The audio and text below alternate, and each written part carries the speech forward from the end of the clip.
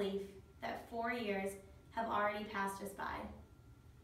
I feel as though it was yesterday that I was being dropped off in front of Swartz Hall and meeting the stranger who I was going to be living with for the next year.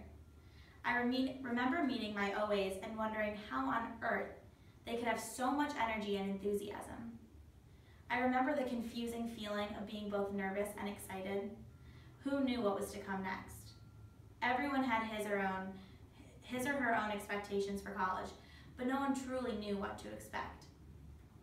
You remember seeing that girl who seemed to know exactly what she was doing and that everything she did at Bucknell was right. You remember that boy that appeared to, appeared to be so immediately confident and comfortable with the college workload. But four, year four years later, and here's a secret, they were just as nervous as you were. Every freshman is in college is in the same boat. Growing up, my dad always said to my siblings and me, college is the best four years of your life. Enjoy it because it'll be over before you know it. I remember thinking as a freshman that senior year seemed entirely too far away, and I was going to enjoy college at a smooth pace, and I, that would prove my dad wrong. Per usual, he was right. It feels like yesterday that President Bravman was welcoming us to the Bucknell community, and now here I am, four years later, speaking to my peers about our collective journey and what is to come of it. He told us that this was our time to find out who we wanted to be as a person. So, my fellow Bucknellians, I am no President Bravman, but I stand here today reflecting on our journey and what has come of it. Did we find ourselves? Did we become the people we wanted to be? I can't answer that on behalf of the class of 2016. Truthfully, I don't know if I can answer that for myself.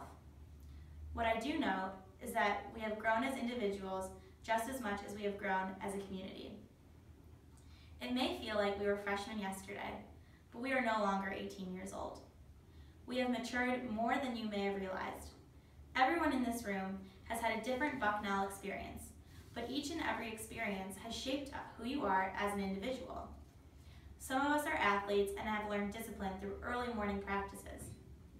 Others are student council representatives or orientation assistants and have learned excellent leadership skills. Maybe you joined a fraternity or a sorority, or maybe you acted in the school plays. Whatever you may have participated in, you grew because of your interactions with your peers and because of the people that influenced you along the way. We all learned how to balance our academic lives with our social lives. Well, maybe not all of us. We all learned how to live independently from our parents. We all learned what friendships were real and which were fake. There is so much that is to be learned in our, in our four years, and it is all meant to prepare us, prepare you for the real world. Through my time at Bucknell, I have learned so much about leadership. I never thought I would go on to become one of those enthusiastic and overly energetic OAs that I met my first day at Bucknell. I never thought that I could be a mentor to 25 first year students and acclimate them to this amazing community, but I did. I never thought I would have the confidence to involve myself, but here I am now as the president of the concert committee. I established so many friendships throughout my involvement at Bucknell, and the lessons I learned on leadership have been extremely rewarding. Bucknell has taught me to push myself past my comfort zone and to achieve things I never thought I could achieve.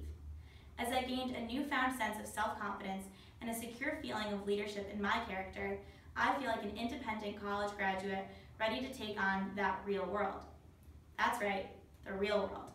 Those two scary and dreaded words that remind us that we actually have to leave the Bucknell bubble one day and face reality.